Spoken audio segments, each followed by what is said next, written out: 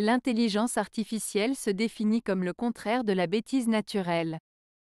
Woody Allen Cette citation de Woody Allen utilise une forme d'ironie pour souligner l'idée que l'intelligence artificielle, IA, en tant que produit de l'intelligence humaine, est capable de dépasser les limites de la bêtise naturelle.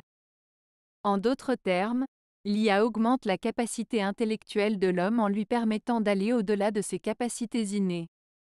Cependant, on pourrait argumenter que l'IA ne peut être considérée comme le contraire de la bêtise naturelle, car elle est toujours créée et programmée par des êtres humains, ce qui signifie qu'elle est en fin de compte limitée par nos propres connaissances et compétences intellectuelles.